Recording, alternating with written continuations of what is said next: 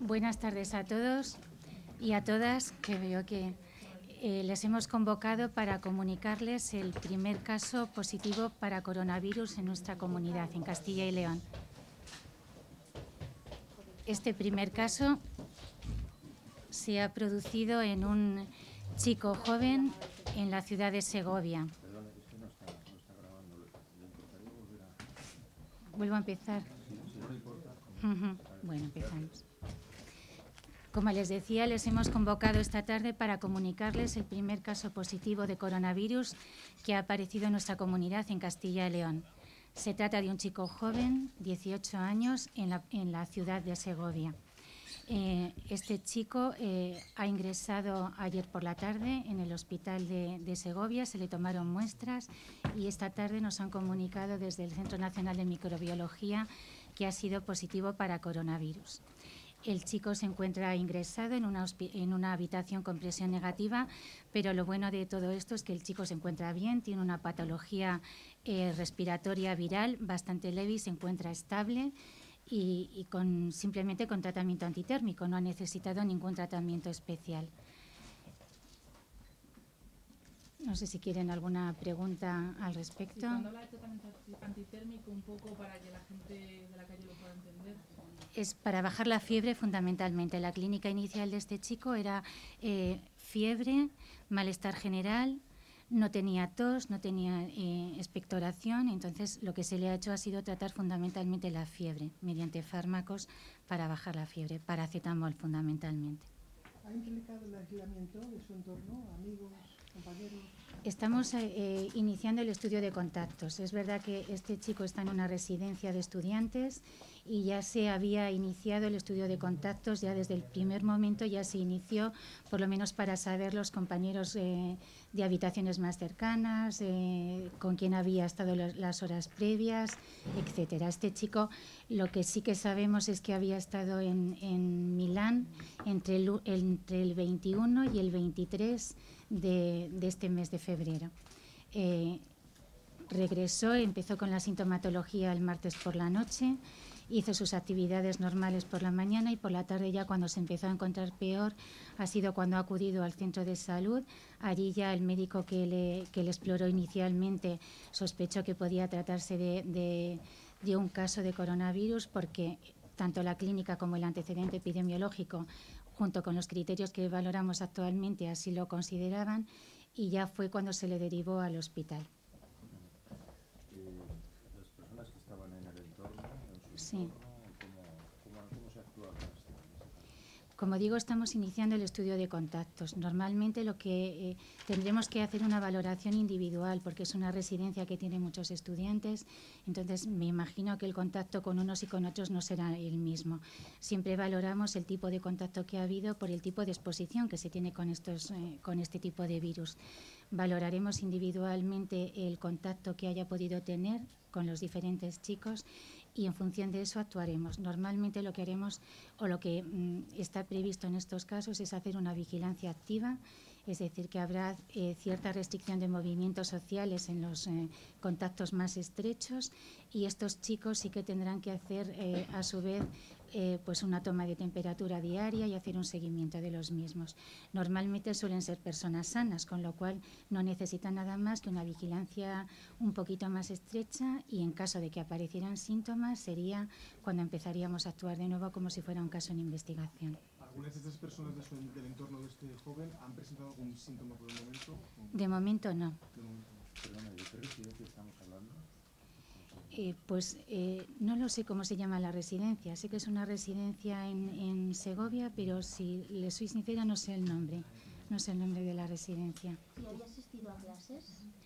Había asistido el miércoles por la mañana a clase en una universidad allí en, Segovia. Es un chico italiano. Es un chico italiano. No, no, estaba estudiando primero de business, me parece que me han dicho. Está estudiando aquí en Segovia, en una universidad privada y, es un chico italiano. Al haber, asistido a clase, ¿no se va a tomar algún tipo? También se analizarán, también ya nos hemos puesto en contacto con la universidad y también se está viendo los contactos que ha tenido en clase. ¿Han calculado cuántas personas más o menos pueden ser objeto de esa vigilancia de la? No lo sabemos todavía. Sabemos que en la residencia son 115 estudiantes los que hay, pero en la clase todavía no sabemos cuántos. Lo- ¿Se comunica a Italia también este caso por el entorno que haya podido tener allí? Tendremos que, tendremos que comunicarlo. Normalmente lo que nosotros hacemos ahora es comunicarlo. Bueno, ya lo saben, en el Ministerio ya lo, ya lo conocen porque el Centro Nacional de Microbiología, al mismo tiempo que nos lo comunica a nosotros, lo comunica el Ministerio y luego ellos también lo tienen que comunicar a las autoridades europeas y se pondrán en contacto también con las autoridades italianas. Sí, yo le quería preguntar Sí. Eh, aparte, eh, sé que hay vigilancia en Ciudad, ¿no? Y en eh, A ver, vigilancia, eh, tenemos casos en investigación actualmente en toda la comunidad. De acuerdo. Hasta ahora todos los casos que tenemos han sido negativos y siendo casos negativos no hacemos vigilancia activa en, la- en las personas del entorno. Les damos una serie de recomendaciones dependiendo del tipo de patología que se diagnostique. Normalmente son patologías respiratorias, entonces les damos las recomendaciones normales. Cuando sale negativo para coronavirus, puede ser gripe, puede ser otro tipo de virus. Pero ya si da negativo no se hace ningún tipo de vigilancia en el entorno. Solamente iniciamos el estudio de contactos cuando el caso da positivo. ¿Se va a reforzar Castilla y León? ¿Los hospitales de van a ampliar eh, camas? eh, en previsión de un escenario un poco peor. Bueno, todos los hospitales están, eh, están tomando medidas en este sentido. De momento es verdad que eh, tenemos solamente, como le digo, sí que tenemos casos en investigación, pero afortunadamente todos están saliendo negativos hasta, hasta ahora, hasta este positivo. Y es verdad que no hemos necesitado, estamos tratando de hacer siempre las tomas de las muestras en el domicilio para evitar que haya movimiento de pacientes o de posibles pacientes en la comunidad o que lleguen al hospital o haya diseminación de la enfermedad. Pero es verdad que los hospitales, ante la situación que se está creando en, en Italia fundamentalmente, sí que están haciendo sus planes de contingencia en distintos escenarios. ¿De acuerdo? Sí que, como saben, ya lo hemos anunciado en alguna ocasión, hay habitaciones de aislamiento, hay habitaciones con presión negativa. En caso de que pudiera haber pacientes ingresados, se están eh, habilitando o por lo menos reservando zonas en caso de que hubiera ingresos. Es decir, que sí que se están valorando distintos escenarios y tomando las medidas en cada momento. Entonces, los del entorno del tema del iraní de ciudad ya se libre, digamos, ¿no? Vamos a ver, todavía no tenemos el Ah, resultado, resultado, no hay resultado.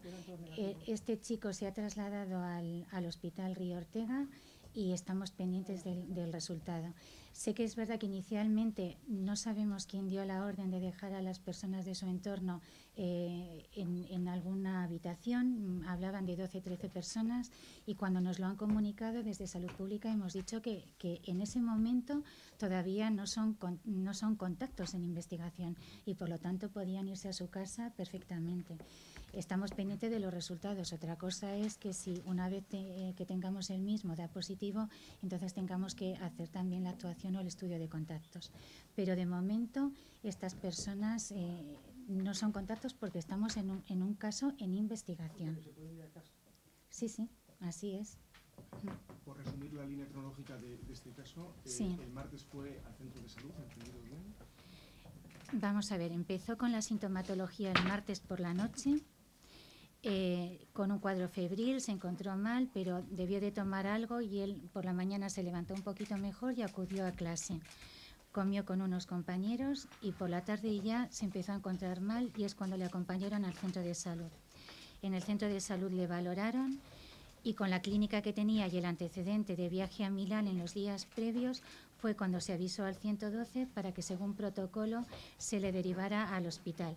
Al llegar al hospital ya ni siquiera pasó por urgencias, sino que se le ingresó directamente en una habitación en aislamiento. Lleva, lleva en el hospital, por lo tanto, desde ayer por la noche. Desde ayer por la tarde, sí, ya pierde un poco desde ayer, miércoles, ¿verdad? Desde ayer, sí.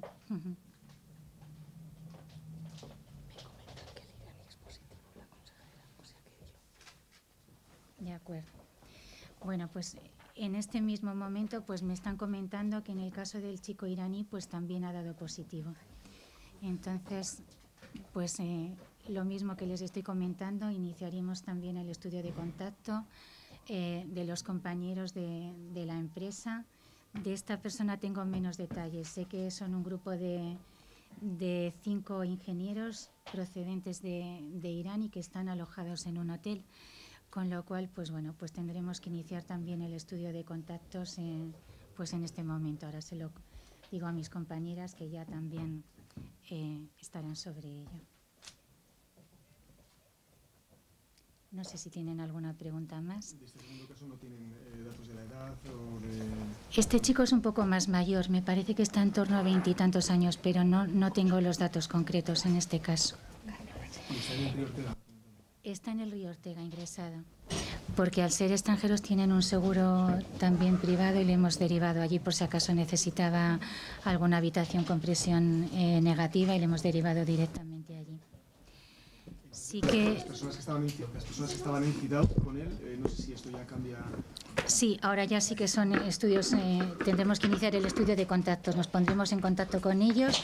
En principio son personas sanas, quiero decir que siempre hay que distinguir cuando hablamos, esta persona es una persona enferma, pero los que están a su alrededor son personas sanas mientras no desarrollen síntomas. Son contactos que dependiendo del tipo de contacto que hayan tenido, pues act- actuaremos de una manera o de otra. Normalmente, como les digo, es una vigilancia activa en la cual se hace una restricción de movimientos sociales fundamentalmente les recomendamos que en su casa pueden hacer una vida relativamente normal, pero evitar sobre todo aquellos sitios donde puede haber más acumulación de personas. Entiendo que, perdón, entiendo que los Sí. que estaban en Ciudad, las instalaciones de Ciudad ya no están, ya se han ido a sus casas. Nos pondremos en contacto con ellos ¿eh? para hacer todo el seguimiento. Raíz de, los, de cuando se han ido conociendo hoy los casos, no se ha, habido, se ha notado en el teléfono se ha dispuesto de información, se ha notado más aumentos, se va a reforzar a la, en previsión, igual los hospitales, en pueda... Sí, la verdad es que eh, en los últimos días, desde que se ha conocido la situación en Italia, no solamente desde hoy, desde que se ha conocido la situación en Italia, las llamadas al teléfono que hemos habilitado para información sobre coronavirus, pues la verdad es que se han multiplicado. Tanto los servicios de emergencias sanitarias como el 112, incluso las, el propio sistema de alertas epidemiológicas está desbordado. No solamente de personas con, que, bueno, que a lo mejor manifiestan alguna patología respiratoria, sino gente que procede de Italia, porque la verdad es que ha sido un destino muy común en estos días que hemos tenido de vacaciones. También hemos tenido muchas consultas desde centros escolares, desde universidades, desde colegios. En fin, las llamadas, la verdad es que se han multiplicado en los últimos días. Perdona, los 13 siguen allí todavía, pues están en ciudad, los 13 que estaban, no están en sus casas. No están- se autoaislaron creo, en realidad. Sí que les habían... No, no, no, no hará falta. Ahora miraremos a ver cuál es la situación. Sí que nos habían dicho que se habían, o por lo menos esa, esa es la, la orden que habíamos dado, que no hacía falta que estuvieran allí aislados de esa manera, tal y como lo habían dejado con las imágenes que habían salido con la Guardia Civil allí. Entonces, bueno, bueno, mm, nos pondremos ahora en contacto con ellos y, y veremos a ver cuál es la situación. Recordar también a mí, mm, mm, siempre decimos que eh, lanzar un mensaje de tranquilidad. Yo sí que quiero decir que no debemos estar alarmados y que debemos de estar alerta. En esta fase de la enfermedad es muy importante la- el diagnóstico precoz de todos los casos y el estudio de contactos para evitar la diseminación en la comunidad de nuevos casos. Eh, recordar otra vez el número de información que tenemos habilitado, el 900-222-000. Y recordar que todas aquellas personas que cumplan el criterio clínico y el criterio epidemiológico, es decir, síntoma, sintomatología respiratoria y haber estado en alguna zona de riesgo en los días previos, antes de acudir a algún centro sanitario, por favor que se pongan en contacto a través de este número de teléfono que se les indicará lo que, lo que tienen que hacer. ¿De acuerdo? ¿Algo más? Sí. Pues muchas gracias.